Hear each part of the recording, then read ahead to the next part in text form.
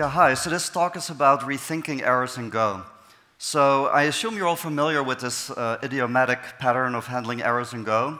So when I say rethinking errors, I'm not trying to make this less verbose by introducing new syntax, maybe later, but I want to focus on semantics. So why?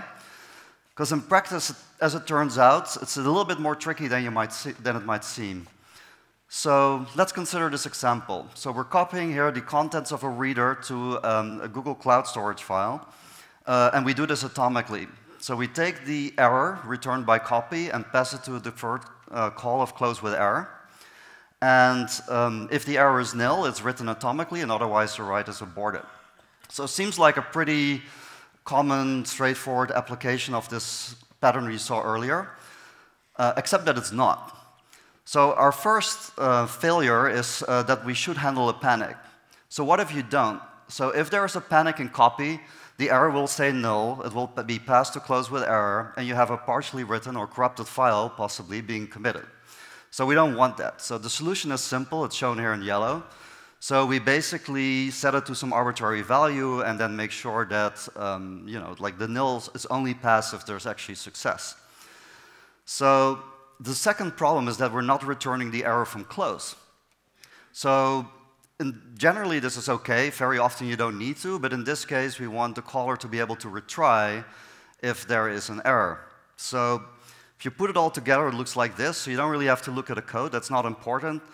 Um, what, is this, what I'm trying to show here is that it's a, we're getting quite far away from the original six lines to make this code correct, and it's sort of far away from the original idiomatic pattern. So how do we simplify this? So instead of looking at syntax, I really want to understand uh, what is the problem with errors. Is there maybe something about errors uh, that make them harder than they need to be? So a first obvious target um, is close. So if you think about it, close can mean clean up, it can mean hang up, disconnect, it can mean um, commit, as we saw earlier. And very often, if it, with these different meanings, you require slightly different error handling. So, but then what do you do? Do you gonna split up all these different methods and give them different names? We have a lot of Go code. It's gonna be a little bit messy, and also the lines are kind of blurry, so this doesn't seem like a good solution. So let's look at error. So I really like Go error, so I really don't see why I want to change that, so I am not. But what about the relation between error and panic? So let's look at the differences between them. So an error is recoverable, a panic is not. Or is it? So oftentimes you can have a panic and you would still want to continue, like a little bit like the HTTP package does.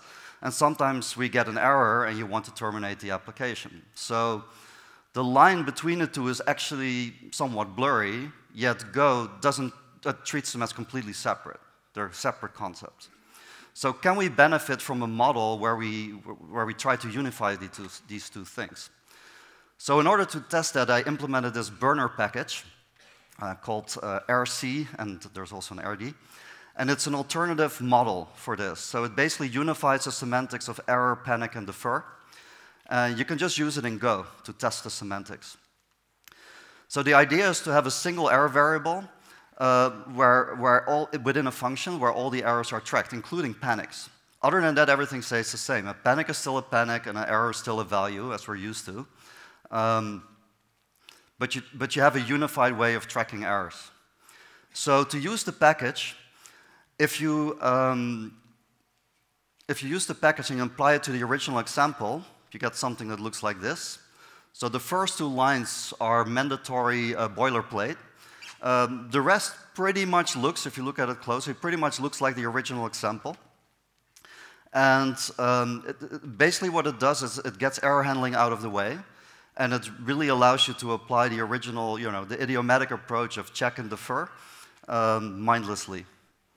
So the, the, takeaway here is if you're designing a new language feature, it really pays off to look at semantics first.